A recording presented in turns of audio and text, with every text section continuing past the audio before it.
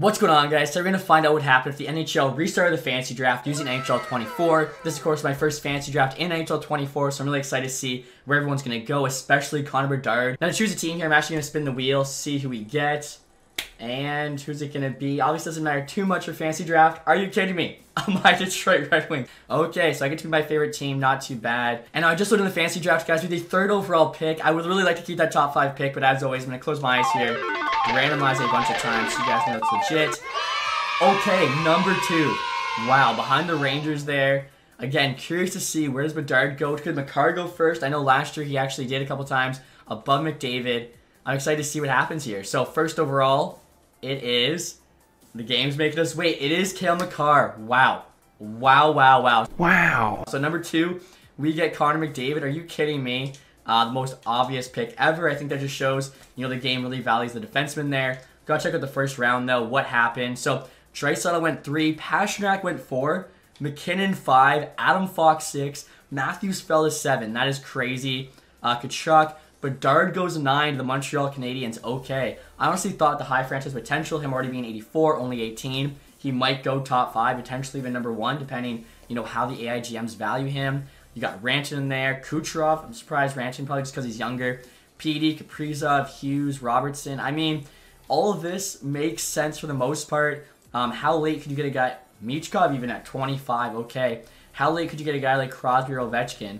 Crosby, the last pick in the first round. Adam Fantilli there even. Second pick in the second. You got Carlson. It's very interesting to see where all these guys are going. Have not seen Ovechkin yet. If he's available, we have to take him. Leo Carlsson there even going in the second round. And yeah, guys, so I did not see Ovechkin. A duo of him and McDavid should be unstoppable. Uh, you have the best goal scorer of all time with arguably the most talented player of all time. If somehow this duo doesn't work for us, I feel like this game is broken. Um, at this point, though, we probably need defense. Brad Marchand, though, on that first line with them. Marchand, McDavid, Ovi. I mean, that just dominates the NHL, right? Is there a chance, you know, Carlson or Doughty will be available with our next pick? I honestly don't know, but I'm saying screw it. We're going to have the best first line in the league by far. No one's even going to be close. At this point, though, definitely need defense. I just saw Luke Hughes as well as K'Andre Miller got taken. Malkin was still there. Dang, so we could have taken like Dougie Hamilton and then got Malkin here to play on that first line. That would have been the better move, but Kris Letang's still available. Same with Spurgeon. Burns will probably be there for a bit.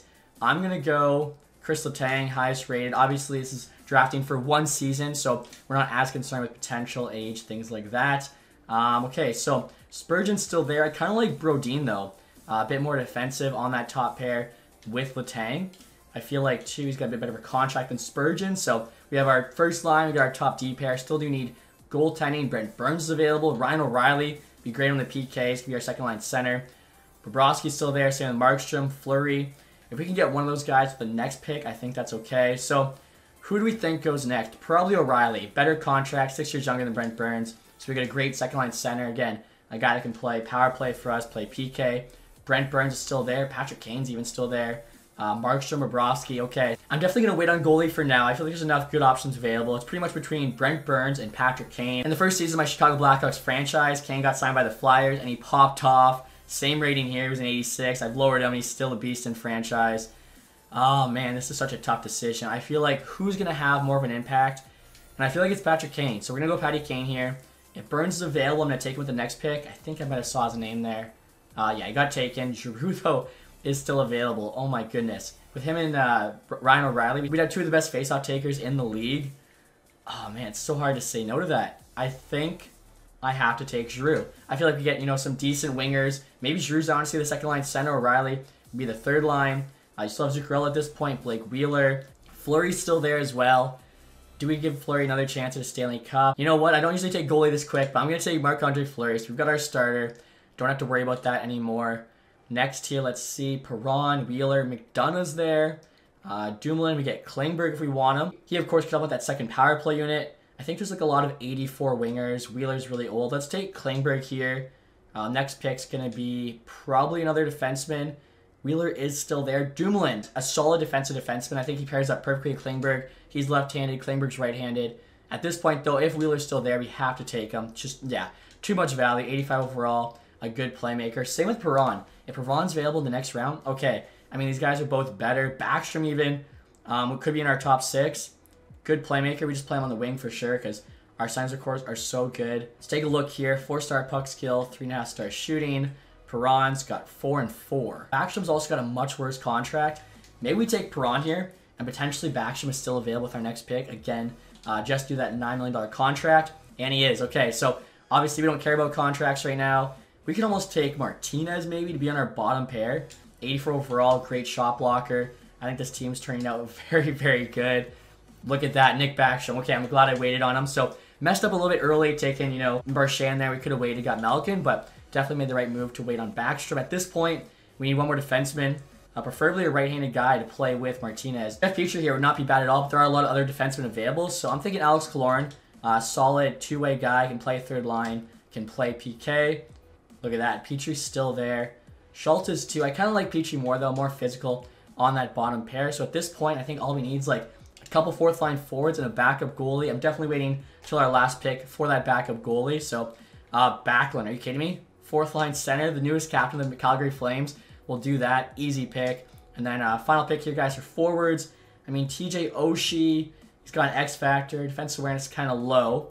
If we did want more of a defensive player, Thomas Tatar, 88 awareness and stick checking. I think I forgot to change him from a sniper to a two-way forward, though. Actually, guys, look at this. Jordan Staal's available. Are you kidding me? One of the best defensive forwards in the league. I think at this point, we just throw Backlund on the wing. We are set in terms of, like, you know, PK, uh, two-way forwards. Now, uh, this next pick here, guys, again, have to get a backup goalie. James Reimer's available newest member of the Red Wings. He's also the highest rated goalie, so I'm going to take him there. Not going to overthink it. Uh, at this point, though, guys, we're just going to sim the rest of the draft. We're just going to run these 20 guys. Injuries are off, so we don't have to worry about, you know, having any extras. And I mean, come on, guys. Look at this draft. Are you kidding me? Those top three picks, McDavid, Ovi, Marchand. If we don't at least go on a deep playoff run, this game's broken already. All right, guys, next I'll show the lines for this team. As I mentioned before, I think this team's absolutely stacked. No reason why we can't compete for Stanley Cup. That first line, unbelievable. Ovechkin, McDavid, Brad Marchand. Like, are you kidding me? Of course, they get the plus five chem boost. Uh, you got Wheeler, Giroux, Kane on the second line. I actually noticed too, if I swap Kane Ovechkin, I get the plus four chemistry, which is new to NHL 24, so that's kind of cool to see. But obviously, we're giving Ovi the first line minutes. Uh, Backstrom third line, playing with O'Reilly and Perron. That's not bad at all. Killorn, Staal, Backlund's got to be the best fourth line in the league. Defensively here, I think we're very solid as well. Brodin, Letang, top pair. You got Klingberg, Dumoulin second. Martinez, Petry on the bottom pair. Goaltending wise, of course, Fleury starting, Reimer backing him up. Uh, you look at the power play one, I mean, it's insane. Like, Marchand front, you got McDavid, Kane, passing the puck around, Letang solid offensive defenseman. Ovechkin, of course, in his office, that's what he does. They're getting a plus five. Uh, power play two here you can see also not too bad. I feel we got some good playmakers. Probably the one knock on power play two is the fact we only have a true sniper, but I'm sure they'll figure it out. Uh, four in power play one, you guys can see also gets a plus four, which is cool. Uh, four power play two there. Now next you look at the PK, of course, I drafted heavily with the PK in mind. So that first unit, you got O'Reilly, Marchand, two very good two-way forwards, Letang and Brodin, they get the plus five. Um, second one there, you got Backlund, Giroux, with a couple foreign Penguins defensemen there, Dumoulin, Petry. Third unit even, you got Staal, Killorn, Martinez, Klingberg. Like, I think the PK here looks very, very solid. So like I was saying, I really feel like there's no holes on that team. Uh, if you guys with the captaincy, it's literally just the first line. McDavid's wearing the C, Ovi Marchand there, both wearing A's. Now, before we get started with the sim, I will show you guys our ratings here. Also, too, you can see uh, we're currently 5 and 1 in the preseason. Claude Giroux there's got 9 points in 6 games. So I feel like this team should probably have like 95 plus offense. We'll see what it is here. Um, yeah, 99 offense, 93 defense, 85 goaltending. You guys can also see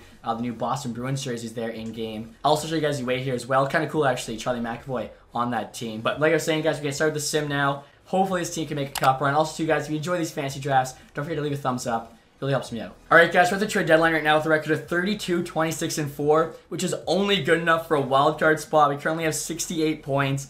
I thought this team was going to be doing so much better than that. I can't believe we're just, you know, fighting for our lives here. Brad Marchand that was popping off. 81 points, 62 games. I'm sure for him to be doing that well, McDavid and Ovi are also putting up a ton of points. But uh, before we check all that, we'll send the end of the season where hopefully we'll find ourselves in a playoff spot. All right, guys, we're at the end of the season now with a record of 42, 35, and 5, which luckily is good enough for a playoff spot. 89 points there. We're actually third in the division. Looks like we're going to be playing the Lightning in the first round. Obviously, we have to take a look and check out their team. Brad Marchand had 110 points. Are you kidding me? Dude absolutely popped off. Uh, we'll see McDavid over here, rest of the team. Ovechkin 99, so one shy of 100 sucks. And then McDavid had 87. Are you kidding me? Brad Marchand put up 23 more points than McDavid, playing on his line. McDavid's getting the exact same amount of ice time except for the PK. Are you, like how many shorthanded points did Brad Marchand have? He had one shorthanded goal and three shorthanded points. So yeah, it wasn't the PK time. How is McDavid doing so much worse than Marchand? Obviously, I'll take it. Like they're all producing pretty well. I feel like McDavid and Marchand's point production there should be switched. Kane still had 70 points on the second line. Giroux 63. Wheeler, Letang 50 plus. Basham in the 40s. Same with Perron. Overall, I think you know production wise, cannot complain aside from McDavid only having 87. Uh, Fleury there 901 322. Interesting. So uh, save percentage goals against, both aren't the greatest. Reimer actually a little bit better. And now take a look at the entire league here, guys. Are you kidding me? David Pastrnak had 72 goals. What? That is unbelievable. Uh, 110 points though. He's actually tied with Marchand. They completely swapped. He had 72 goals, 38 assists. Marchand had 38 goals and 72 assists for also 110 points. That's so funny. I think goals is the tiebreaker for Art Ross though, so Marchand kind of gets screwed. Uh, Kucherov 103, Suzuki 100, playing with Pastrnak. Crosby there 99, same with Ovi, Stammer, Rantanen, Matthews. So goals, obviously, yeah, Pastrnak 72. No one's even close. Dude was averaging almost a goal a game. That is ridiculous. I mean, he put up almost 400 shots. Like, I think Ovechkin has the highest shoot pass attribute. Let me see. Ovechkin shots there, 290. Yeah, Pastrnak somehow had 100 more shots than Ovi, which is kind of crazy. I'll take a look defenseman next here. Fox 94 popped off of the Avs, so they always have a great defenseman. Doesn't even matter. It was a wait, and then Makar went number one to the Rangers. They literally traded Fox for Makar one for one. How funny is that? Now looking at goalies here, guys. Skinner, Bobrovsky each had 42 wins. Same percentage, of course, goes to Bobrovsky, 938. Actually, I think there's a glitch happening because what the heck? All right, so it showed Bobrovsky having a 938 save percentage, which is insane. Like he had an incredible year there with Montreal Canadiens. Sort by save percentage, he's not there. So I don't know what's going on. Uh, goals against, who had the best for a starter? John Gibson, 248 is what it shows. But Bobrovsky here at a 205. So his numbers were so good, they're literally not showing up when you sort it by either of them. That's pretty funny. And finally here, guys, checking out rookie scares. We'll see if Connor Bedard wins the Calder. 71 points, minus 17. I mean, are they really going to give it to, like, Cooley, who is minus 13 worse, but still a minus? Bobby Brink with 43 or plus 12. I feel like it's got to go to Bedard. I am curious to see like what they come up with though in terms of the awards. And now looking at the entire league here, guys, Philadelphia Flyers, of course, won the President's Trophy. So dominant there uh, with Pastrnak having 72 goals. Uh, five teams had 100 plus. Where were we in the entire league? We were 16th. Wow. So we actually like just squeaked in with what I thought was a very stacked team. So Maple Leafs there finishing in last. Again, very surprised um, by the results. Uh, before we do start the playoff sim here against the Lightning, we got to take a look at that team and uh, see how we match up. All right, guys, so on their first line, they got Forsberg, Stützle, Fiala. Very nice first line. Not as good as ours, though. Brown, Kadri, Hall, Domi, Sagan, Bly, Gregor, Tierney, Greer. Defensively, Ekholm, Trouba. Defense is really kind of rough. Goaltending, they got Hellebuyck starting, though. Okay, so I feel like our team's a lot better. They do have the goaltending advantage, but that's literally it. So um, I like our odds. Obviously, we'll have to wait and see. So here we go, guys. First two games are in Tampa. 4-2 win. We take that. And 3-2 win. All right. Maybe we can head home here to Detroit, finish off a sweep, 3-1 loss, 4-3 OT win. Have to win one more game here. And then, oh, okay, yeah, it was a little delayed. Game 5, we won 7-2. And around number 2 here, we're going to play the Florida Panthers. Okay. So Florida's got Duchene, Draisaitl, and Nylander on the first line. That's nasty. Uh, second line's like decent, nothing crazy. Honestly, the rest of their forwards are pretty average. Uh, they got Hedman though, number one defenseman, very good defensive depth. Most of those guys are like 85 overall or higher. Gibson's their starter. All right, so they got a stacked first line, really solid defense. Goaltending that was equal to us. I think both Gibson and Flair 85s. So I like our odds again. You can see McDavid leading playoff score, seven points in five games. Hopefully he can like kick it up a notch, really look like McDavid in this next series. So first two games are in Florida, back to back OT losses. That's brutal. That is absolutely brutal. Are you? We lose game three as well. So do or die, have to reverse sweep them if we want to move on to conference final. And no, we get swept by that Florida Panthers team. That's unreal. And the playoffs are now complete, guys. The Vancouver Canucks win the Stanley Cup. Uh, EA loves their Canucks. Even when it's a fantasy draft, they always sim so well. Dallas there, gonna pick first overall, get uh, Macklin Celebrini. Obviously, it's fantasy draft though, so pretty irrelevant. Uh, playoff scores there. Patty Kane, 12 points in nine games. He actually showed up for us in the second round. Let's see how everyone else did. Marchand had a point per game. David went from 7 and 5 to 8 and 9. So he had one point in the second round series. That is ridiculous. How did he slow down that much? Um, take a look at Fleury here. He had a 904, 302. Not terrible, but you're probably not going to win the Stanley Cup with it, which is evident with us getting swept in the second round. Uh, Vancouver actually beat the Florida Panthers in the Stanley Cup final. So first they beat the Blues in seven, the Sharks in seven, and then the Avs there in five. And now finally here, you guys gonna take a look at the awards, just see you know who won what. I feel like the team awards, we know all of those. Individually here, Pastrnak does get the Art Ross Trophy. Also won the Hart and he needed 72 goals. Dougie Hamilton, James Norris on that Flyers team. They were so stacked. Uh, also got Lady Byng. Calder Trophy that went to Connor Bedard. Jeff Skinner got the Conn Smythe with the Canucks. Okay. Uh, Gibson got the Vezina over Bobrovsky. Interesting. I didn't even really notice Gibson on the stat sheet. He did have William Jennings though. Okay. Uh, Lowe's on there, but Master with the Leafs. Arizona coach Jack Adams, Barkov, Selke, Pastrnak, Ted Lindsay, as well as the Maurice Richard. I think Pasta there had five awards, which is uh, pretty ridiculous. Actually totally missed. Philly was so stacked. I didn't even notice what happened to them in the playoffs. They got knocked out in round two there by the Carolina Hurricanes. So kind of just like us, they get screwed over by the uh, EA playoff sim, which seems to be, you know, as it always is. But hopefully you guys enjoyed this video. Again, if you did enjoy it, leave that thumbs up. Helps me out a lot. If you haven't subscribed yet, hit that sub button for more NHL 24 videos. And as always, guys, thanks so much for watching. Have a nice day. Goodbye.